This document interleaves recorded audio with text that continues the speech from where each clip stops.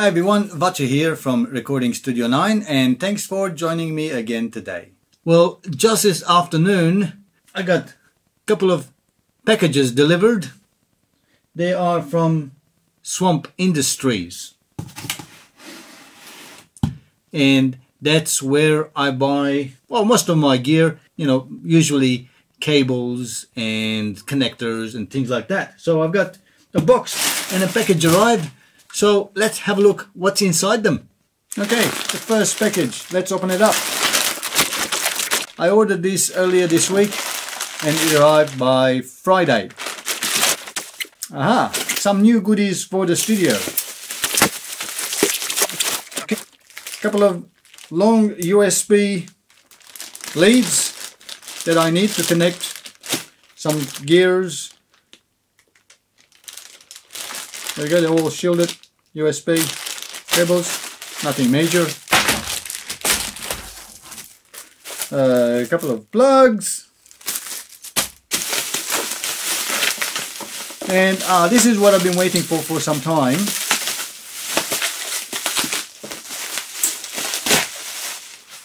Initially, I actually ordered the wrong one and Swamp Industry says just return it and we'll replace it with the one you want because I chose the wrong one.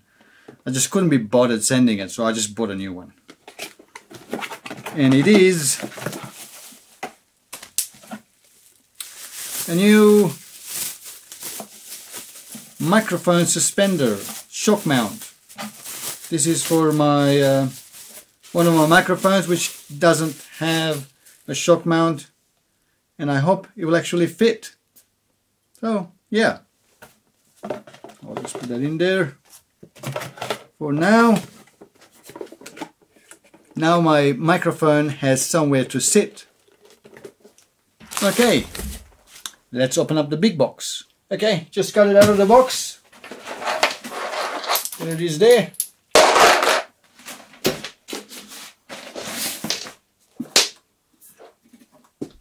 It's a stage snake. What was you thinking it was going to be? A real snake? Yeah, okay. I, I, I, I did make a clickbait. Yes, that's right. I made a clickbait. But I had to do it. Okay, anyway. Um, I'm sure this will be interesting. So this is uh, a snake stage snake, that's what it's called, or a stage box, where it allows you to connect um, multiple microphones in its box. This one also has outputs as well, it's input and output, and it's got a long, sort of thick lead, and on the other end, it's got lots of cables where you connect to the mixer. This probably sit next to the drum, where I can connect short leads of XLR cables from the mic drum microphones and plug it into uh, here. And it's got outputs as well, so I can use those outputs for anything, but I'm planning actually to use those outputs because they are balanced TRS outputs to actually have them as maybe headphone outputs or if I'm recording an, a guitar, electric guitar, I can use that to reamp you know, send signal back out into there to the reamping it, you know, whatever reason. It's just XLR input and output as well as TRS jack output. And on the other end, cables go in. So it nicely will go across my studio into the mixer from the behind of the mixer, which I will show you in a minute if you might have seen in my previous video when I mic'd up my drum, there was seven cables running around and just plugging into the mixer. Yeah, that was mess. And you really don't want sort of messy cables around, especially if you have clients coming in, they want to record, you know, they can trip over it. It just looks messy. So I thought uh, rather than getting high quality cables, because those cables weren't the best, I thought I might as well, for the price, end up buying a stage box or snake, stage snake. Um, um, and use it that way. It's just much neater and cleaner and uh, better option. And uh, rather than paying you know anywhere between uh, 40 or 50 dollars per cable and I need like at least eight of them so that's quite a lot where this one cost me 200 dollars. That's Australian dollars for um, six meter I think cable which is plenty to go from here from the middle of my studio to behind the uh, mixer and plug it in. So this is my mixing desk and all the cables will come from the back and plug in to the top of my mixer freeing up all this area for me to work unlike last time I had cables running from from the front from the ground coming up all the way and big plugged in I mean it was for test purposes but I can't use that if I've got people recording here cables running around everywhere so let's have a closer look at this baby it is from Swamp Industries. Well, this one got eight inputs. So short microphone cables from the drum will actually go and plug into here. And it also has four outputs. So, and they are XLR as well as TRS outputs.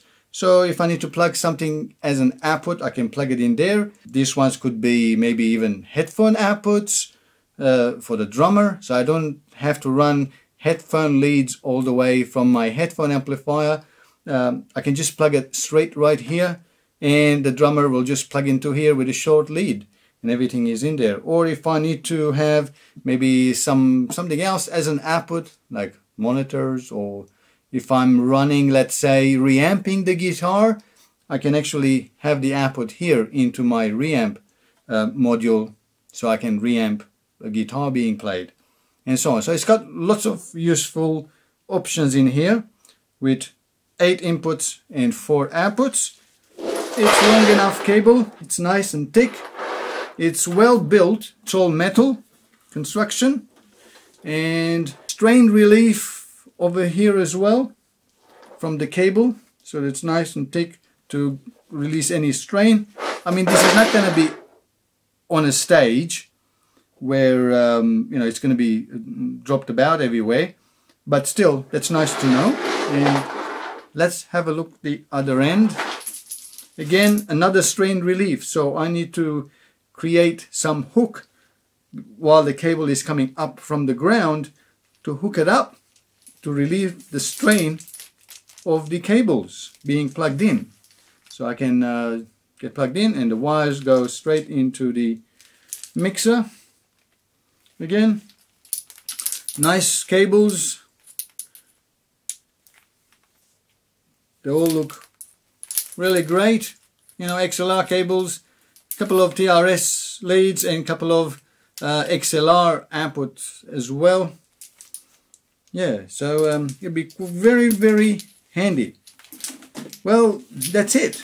It's if you have a setup in your home studio like me, like drums or um, even guitars, multiple guitars and things, and you want to record a small band, um, rather than running all those wires around in your studio, already small enough, and you don't want sort of cables running around everywhere, maybe a stage box might be the cheaper option to uh, to run it.